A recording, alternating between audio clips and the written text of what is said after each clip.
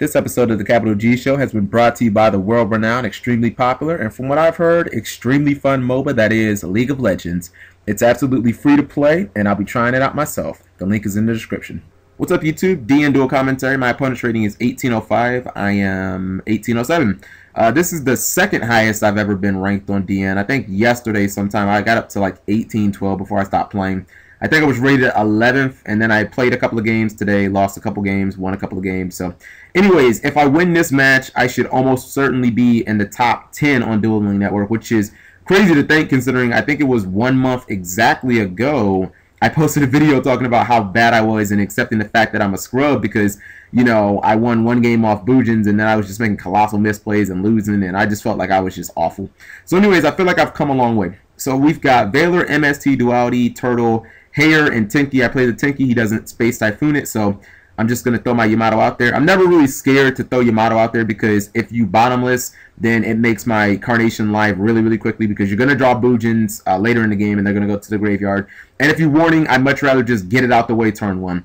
Alright, so I duality for Hare, Veiler, and Tinky. I take the Tinky because I've already got Veiler and Hare both in my hand. Uh, two Veilers get super cloggy, and during the end phase, I could ditch my Hare and get a crane anyway, so I don't want two Hares. Now, you guys might notice that I'm keeping MST in my hand during my end phase, and that's because, especially when you're playing against a deck you don't know with Bujins, it's much better to, to leave your Space Typhoons in your hand. Number one, if your opponent uh, uses something like Phoenix Chain during your end phase, you can uh, MST it. If you have the, the MST set, you can't do that. And the second is against Water, it's a much better move because when they play um, Spear, then you can MST that. Once again, if you have your MST set, what they will almost certainly do is they will go Lindy, and then they will uh, Pike, and then they will pop your MST, and you'll just be wrecked. Alright, so I'm playing against Hieratics. Um, he goes Tefnuit, then he summons Nebthet, and now he's going to get Luster Dragon number two from his deck. So um, I know I'm going to be staring down on the Tomb, but I feel good because, um, let's see, I've got Hare in the Graveyard, I've got Veiler, and I have Bujingi Crane. So uh, I pretty much got all the answers I need.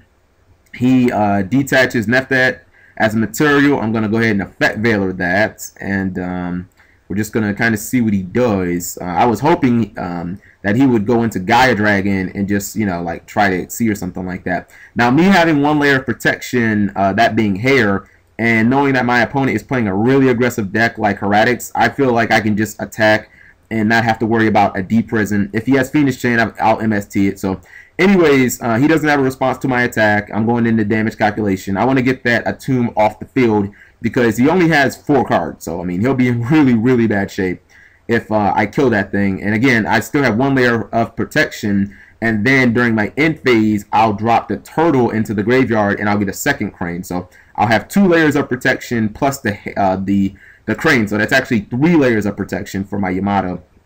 Now during this end phase, um, he already proved he already proved to me that he didn't have a Phoenix chain. So now I don't really concern myself with. I'm gonna go ahead and I'm gonna set the uh, the MST and I'm going to set the royal decree. I'm going to drop I'm going to drop Turtle into the graveyard, and I'm going to add Hare. I thought about Mikazuki for a second. I don't know why I thought about that. And I was like, you know, he, he's down on cards, but, you know, he can still probably easy easily make a rank 6. I mean, all he has to do is have, like, two uh, Convocation and then, you know, top deck any monster, any uh, Hieratic ruler. So, anyways, uh, you see he just sets one and he passes turn. Um, I have MST set, and I've got Decree set. So, uh, I'm just going to go in for battle. Uh, once again, if my opponent has multiple back rows and I haven't already decreed them, what I've been doing is I've just been trying to wait until my opponent activates one of the cards. Uh, the chances of them having two, you know, like uh, two uh, Torrential and evac or something like that are just so low. So anyways, uh, I'm not going to attack into that back row. I'm just going to start making advantage. You know what I mean? There's I'm I'm basically going to out advantage him. There's no hurry. There's no rush. I've got so many layers of protection. So I'm going to drop Quaylen into the graveyard. So if he puts anything in front of me that I don't like, obviously I can pop it. And then I'm getting a uh, Bujin Carnation for free. Not to mention, once again, I have Crane. So right now, I'm just stacking my advantage. I mean, uh, this is one of the ways that Bujins win games is you just show that pa patience is a virtue. And in a Bujin deck, it really pays off because you just add more protection and more protection and more protection, and you just get free Bujin Carnations. So your opponent is only going, I mean, they're getting one card essentially, but I'm going like plus two every single turn, and you can't attack me. I've got so many layers of protection. Once again, I'm not going to exceed all I'm going to do is I'm just gonna, you know, uh, Pod Duality. I'm looking for, I think I'm looking for like a Lance or something like that. Yeah, I'd feel good about that. I'm gonna take the Bear, uh, Valor. I mean, he he's proven that he really can't do much right now. So Valor and MST don't do anything. Now me having the decree right now, I'm just gonna try and push in, and I'm gonna see what he does. If I would have got Torrential, I would have decreed and if he would have had something else, I would have still felt good. But anyways, so I pop um, his dragon with the bear. I attack in the mirror force. Uh, I obviously chain royal decree, and he scoops it up. I guess he didn't have any answers for that. Not to mention, um, not only would I done a mess of damage to him, but I would have been getting another. I probably would have got a Mika off of that. Yeah, so I would have been getting a free Tinky.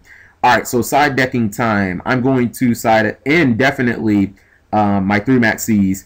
Uh, what I found in in playing against this deck is uh, Lance does not help. Lance only is good against like Wing Dragon, Wing Beat card. So um, I'm gonna go ahead. I'm gonna side out one Kaiser. I don't like keeping in three Kaisers when I go second.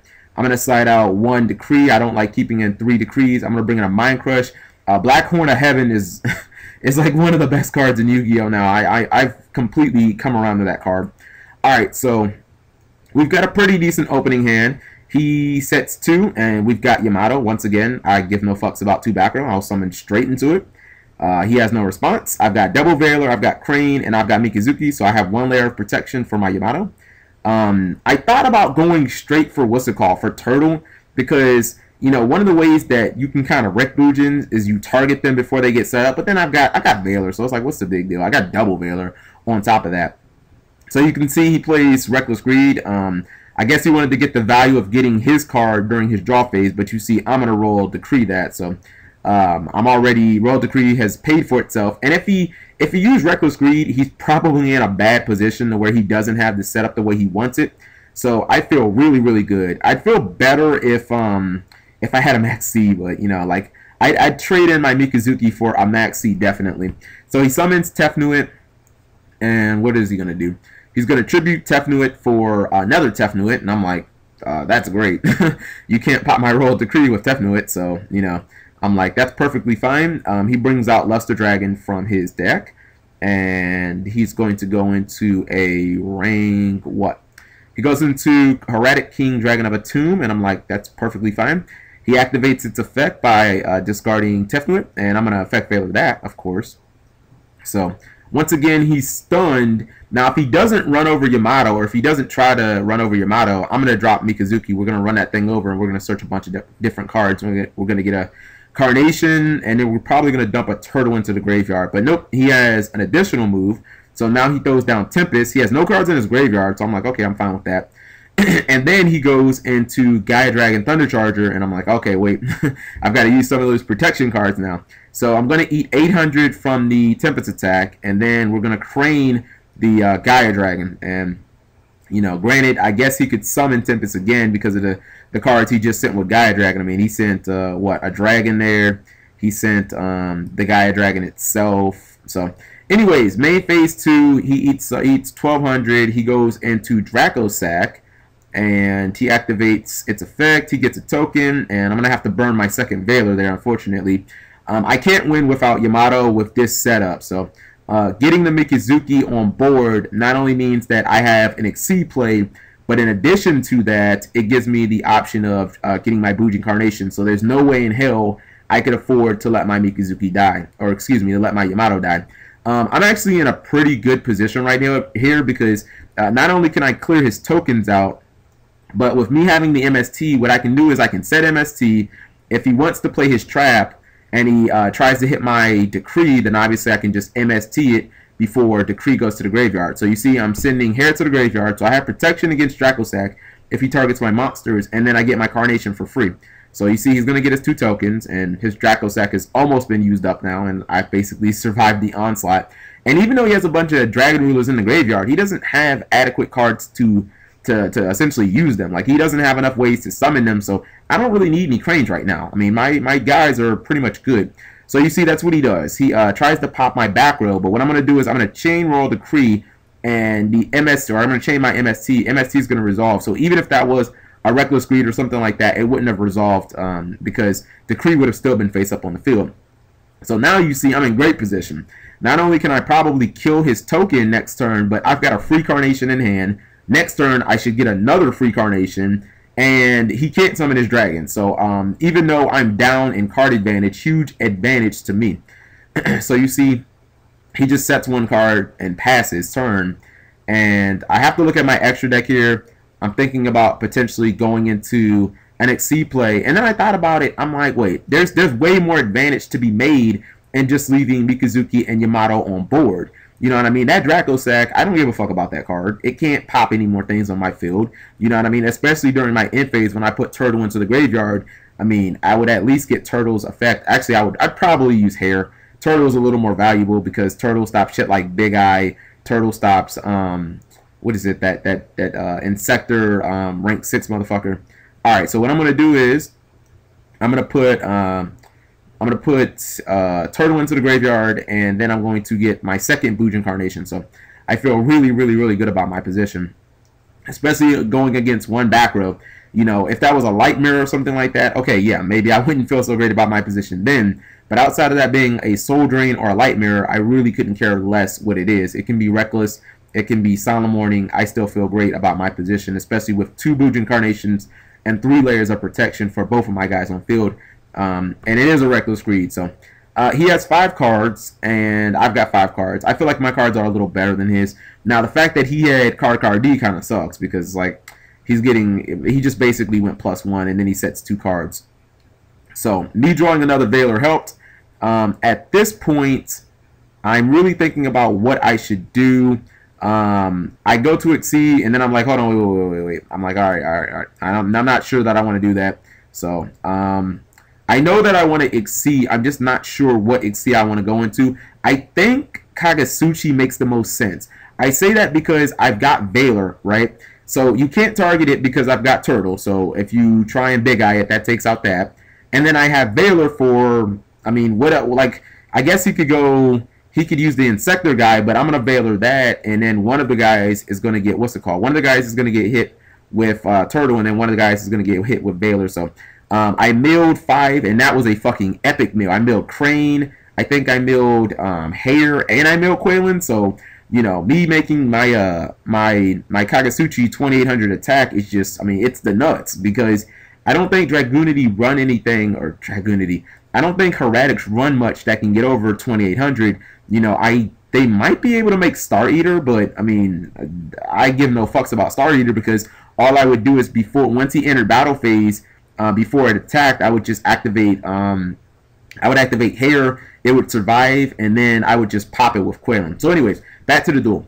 He summons Tefnuit. He tributes that for Sue. Uh, he gets Luster Dragon, so he's going into a rank 6 Xyz. And this is once again where decisions have to be made because he has to essentially find a way to target this guy twice. You know what I mean? If he targets it once, then um, it's it's not going to do anything. All right, so you see that he actually tributes his Sue for Nebthet, and he gets Flamvell Guard. Yeah, Flamvell Guard. Why, why did I say that like I didn't know what that card was? Like it wasn't played all through the Dragon Ruler format. Anyways, um, he's now going into a rank 6 XC. Um, he summons, I forget what that guy's name is, but I know he he basically blows two cards up, and he's actually pretty good. I think I I don't think he can use his, I don't think he's a quick effect, but his defense is 2800, which is fucking real. But anyways, at this point, I'm just like, all right, well, what rank six is this guy going to go into? Because you know, um, as long as my Kagutsuchi lives this turn, and I can clear two of his monsters um, during that turn, I feel like I'm going to win the duel because he'll essentially have ran out of cards that can kill Kagutsuchi. Um, I mean, he only he only runs about three. You know, there's Big Eye, so he plays Constellar, um, Constellar M7 and he targets my Kagutsuchi, I'm going to chain Hare, so I negate that. And then um, I know that he can make Big Eye right now because he has a bunch of different dragons in his graveyard. So I'm assuming he's going to go for Big Eye. I mean, making a Dracossack, if he even ran to, would do absolutely nothing because I got basically, you have to kill this card three times, or actually, no, you have to kill this motherfucker four times to get it off the board, not to mention it's bigger than your Dracossack. So not uh, and, and I don't know what he plans on doing with that Flamvell guard either. I don't know if he's gonna like, you know, uh, maybe he's gonna go into like I thought maybe he would go into Colossal Fighter, but I could pop Colossal Fighter with Quaylin. So, you know, um, he's in a tough, posi- uh, tough position, basically. Now, the one thing about this is, you know, I, I kind of have to watch what I do here because if this Kagutsuchi gets taken off the board, I could potentially get OTK this turn. That's the thing about Bujin Incarnation that people don't realize. Yes, it's an amazing card, but the fact that you can't use it, you know, the fact that your opponent has to have monsters and you can't have any, it means you're always walking this tightrope. So anyways, he goes for Big Eye. I Valor it and and he's like, "You drew three Valors, really?" And I'm like, "Oh, I didn't even realize I drew three Valors." Like, I guess lucky me. I mean, I did play Pot of Duality, and I dumped a bunch of cards in my graveyard, so you know what I mean. I don't side out three Valors if I'm playing against, um, you know, a deck where I know they can't beat me without using uh, targeting effects. And I, I tell them, I'm like, I don't care about anything in your deck except the targeting effects because outside of that, I could just get something like Kaiser Colosseum and just win. So he scoops it up. I don't get the satisfactory of actually winning the game. What I would have done in that situation is I would have um, I would have ran over the big eye. I would have used Quaylin on Constellar M7, and then uh, I probably just would have won from there. I, I, don't think he would have had any other ways of killing my Kagutsuchi. So I finally made it into the top 10 on DN. I think I'm rated 6 right now. Overall, I guess I'm like I'm, I'm one of the seven warlords of Dueling Network. I'm sorry, I've been I've been watching like way too much One Piece. I'm sorry. If I was a seven warlord of of Dueling Network, I think I would be I would be Gecko Moria. I like that guy. Thank you guys for watching as always. Sorry about the banter at the end of the video.